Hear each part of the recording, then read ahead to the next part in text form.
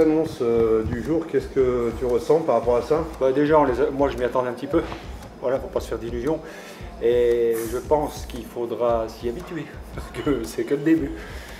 Je pense qu'on a tous intérêt à avoir nos façons de travailler, les horaires, ces choses-là, parce que je pense que ça va, c'est des choses qui vont durer ça. Et c'est inédit, mais c'est comme ça. Voilà. Après, les après la guerre, les gens sont adaptés, nous, on devra s'adapter après ça. Et je pense que c'est loin d'être fini. Mais moi, ce qui est horaire, en fait, je vais attaquer le service le soir à 6h30, 18h30 et 19h. On va faire au mieux, quoi. Voilà, beaucoup d'emportés, comme d'habitude. Et puis, euh, puis là, c'est moins pire que la première fois, parce qu'il y a le midi quand même. Donc pour moi, je pense que voilà, faut pas, faut, c'est préoccupant, mais euh, voilà, il faut, mais, surtout, il faut penser autrement. Je pense que voilà, le, commerce de service va changer. On a intérêt à se remettre en question et trouver des idées, j'en sais rien, mais voilà, parce qu'il y, a- il y a quand même le client qui est là et puis il est quand même pas mal mal- malmené pardon, en ce moment. Du coup, euh, je pense que c'est, il faut vraiment se pencher là-dessus. Parce que ça, je pense que c'est que le début, ce truc-là. Donc voilà.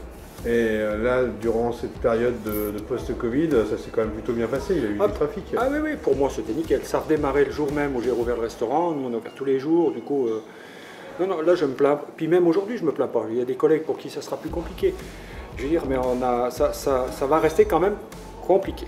Mais voilà, c'est à nous de, de, réfléchir, à faire autrement. Puis il faut pas, c'est surtout, c'est baisser les bras. Parce que la tempête va durer, je pense. La, tem- la tempête va durer un peu. Est-ce que, voilà. est-ce que les gens recherchent toujours une bonne table et bien sûr euh, Oui, font oui. encore plus plaisir qu'avant? Ben, oui, ça par contre, on l'a bien remarqué après le Covid. Le- le- ça, ça a été un déclic. On voyait des gens qu'on voyait jamais avant qui venaient de plus loin. On sent qu'ils venaient de temps en temps, mais vraiment, ils viennent chez nous se faire plaisir. Donc, euh, pour nous, ça a été le point positif du Covid. il, y a toujours du, il y a toujours du positif à tirer du négatif, tout le temps. Et dans ce cas-là, c'est ça. Finalement, tu vas t'adapter comment? Bon, bah, adapter, nous déjà, les dimanches, par exemple, euh, je dirais hors Covid, on fait un deuxième service à 13h30. Le samedi, on en fait un deuxième à 21h15.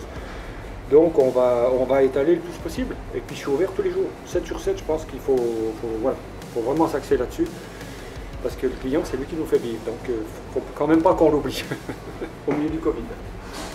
Alors, ce, ce dernier soir, Eh bien, très bien, on en profite vite de venir à 19h pour pouvoir, euh, pour pouvoir euh, rentrer à temps, encore qu'aujourd'hui c'est minuit euh, le retour, donc ça va. qu'est-ce que vous en pensez de tout ça?